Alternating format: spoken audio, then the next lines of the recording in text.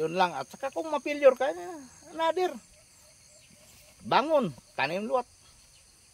Yun lang. Huwag kang magsawa. Magandang umaga mga palaboy, mapagpalang araw sa ating lahat. Kaway-kaway, mga totoo mga iday.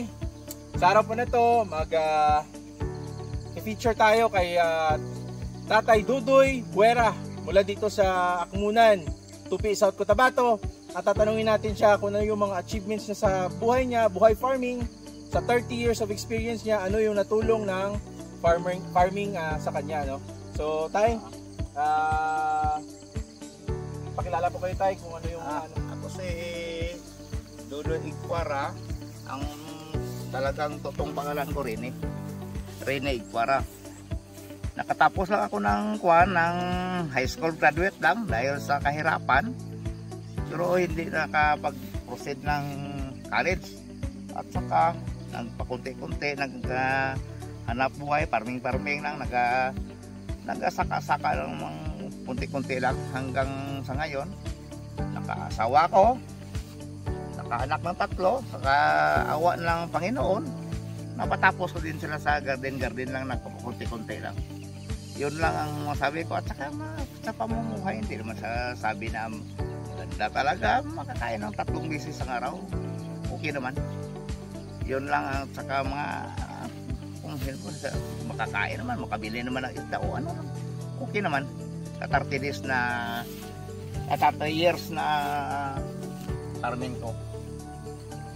Yun Nag-start nag-start po kayo tay sa ilang hektarya po ng farming niyo tay.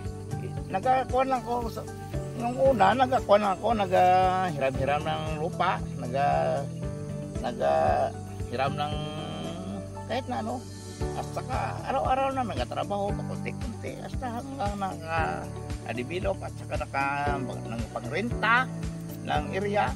At saka yung lupa ang lupa namin kasi dito hindi ito sa akin talaga yung sa kwan pa ito? Sa mga parents pa namin.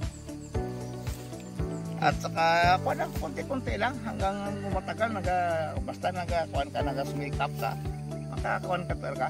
Mayroon kang makita yun lang Tapos tay, ano yung mga achievements niyo po na nangyari po sa farming ta 30 years po ninyo tay? Ano po yung natulong ng farming sa inyo tay? ah siyempre yung pangangailangan araw-araw at saka yung kuan yung mga anak ko napaaral ko napatapos ko sa 30 years sa farming lang Naging professional teachers po sila lahat. o professional Ano po yung mga napundar nyo po sa pagiging farming nyo po, doon sa pagpa-farm nyo po dito? Ah, naka, nakarenta ng mga area Mhm. yun lang makabili ng mga kung ano-ano at saka hindi naman tayo makakuha ng sasakyan mayroon lang kunti-kunti lang Mhm. yun lang At di po kayo nahirapan sa pamumuhay nyo po tay? ay, mahirapan man pero normal man lang yung basta na buhay ka mahirap Hmm. mas, mas mahirap kung walang walang trabaho at saka walang wala kang pira hindi man sinabi na may pira talaga pero may mabili-bili mabili ka man kunti-kunti Ano yung mga masasabi nyo tayo, mga advice nyo sa future farmers natin, yung mga, mga gusto mag-farm sa ano po?